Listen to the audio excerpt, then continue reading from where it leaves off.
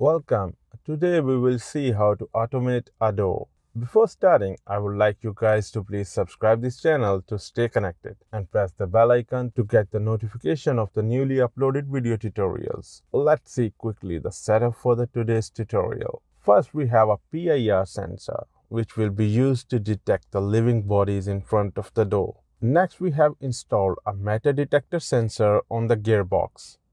It will detect the teeth of the gear and give output pulses to the PLC input. So the sensor is working as an encoder so that we can track the current position of the door. Next we have a three-phase motor to open and close the door. This motor have a brake disc which is used here to suddenly stop the motor at specific positions. Now let's see the PLC wiring. We have connected a PIR sensor at I0.0 count sensor at I0.1, brake coil at Q0.0, door open contactor at Q0.1 and door close contactor at Q0.2. Let's see the programming now. We will do simple programming to keep this video short and easy to understand. The network one is for the door open logic. Here we will take a normal open contact of the PIR sensor I0.0 and connect it with the internal bit M10.0. This bit will be used as a command to open the door. So when the PIR sensor is turned on, it will turn on open door command bit. The network 2 is for the door closing logic. Here we will uh, put the NC contact of the PIR sensor I0.0 and put in series with the 5 second timer and connect a memory bit M10.1. Now if there is nobody in front of the sensor, this NC contact of the PIR sensor will remain closed and it will start the 5 second timer and once the timer is over, it will turn on the door close command bit M10.1. So the first two networks will be used to generate the command bits to open or close the door. Network 3 is to detect the current position of the door so that we have an updated status of the door position all the times. To detect the current position of the door, I have used here up-down counter. It has two inputs, one for up counting and another one for the down counting. Let's suppose if the open door command bit is turned on and count sensor is giving output pulses, then this counter will be incremented by 1 on each pulse at CU or count up input. Same way, if the closed door command be turned on and the count sensor is giving output pulses, then this counter will be decremented by 1 on each pulse at the CD or countdown input. The current value of the counter will be stored in memory word 100. From this value, we can determine the current position of the door. The preset value of the counter is 24 because it requires 24 pulses to fully open the door. If the current value of the counter is 24, this means that the door is fully opened. If the current value of the counter is 0, this means that the door is fully closed. The network 4 will be used to detect if the door has opened up or not. Here we have used a comparison instruction to compare the current value of the counter with the 24.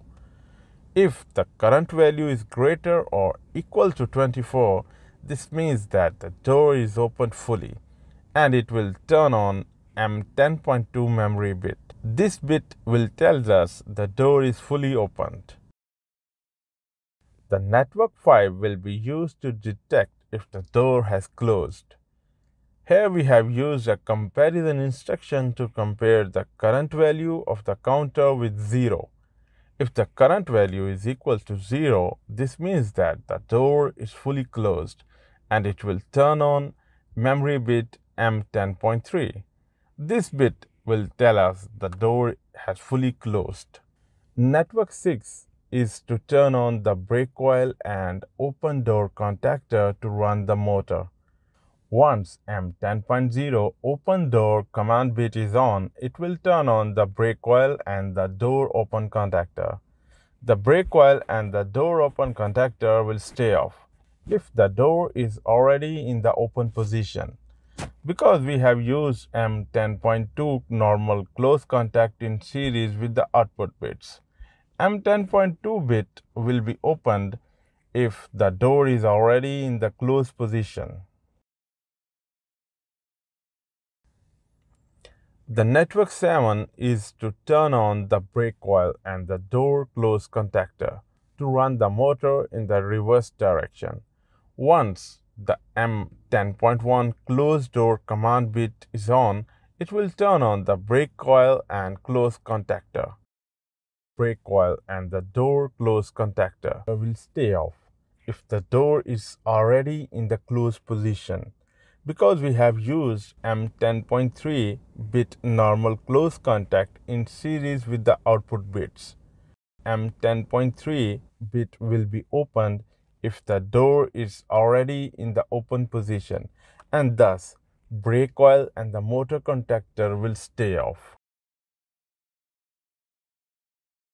Now let's test the programming if it's working as per our requirement. Right now there is nobody in front of the sensor. So the NC contact of the PIR sensor I0.0 stays closed. It will start the 5 second timer. Once the timer is over, it turns on the closed door command bit M10.1. You can see that the counter value is uh, 0 right now. This means that the door is already in the closed position.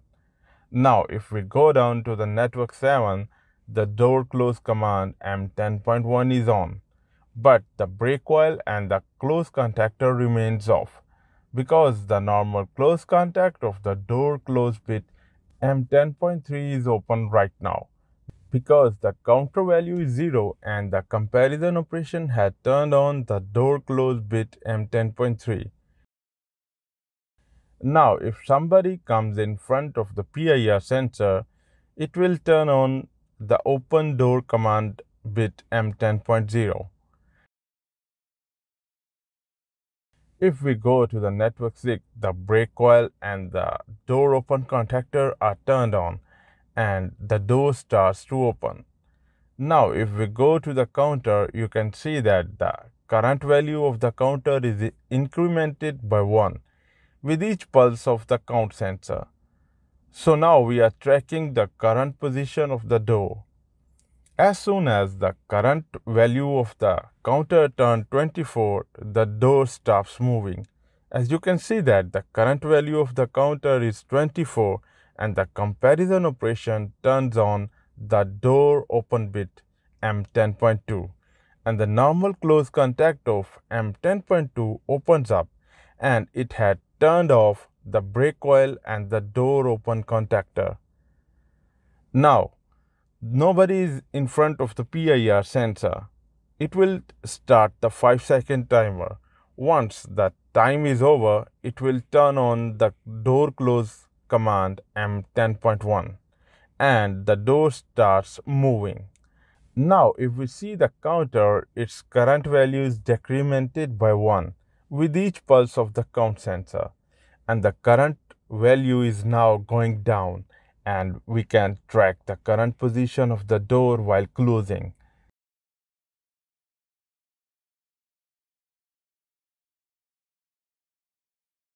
If we go to the network 5, as soon as the current value of the counter reaches 0, the comparison operation had turned on the close bit M10.3.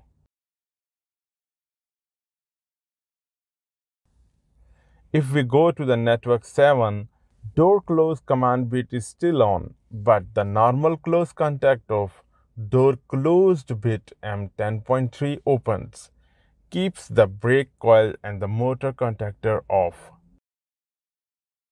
So this is how we can automatically close and open the door using sensor, PLC and a motor. I hope you liked today's video tutorial. Please like, share and subscribe and till next time take care and goodbye.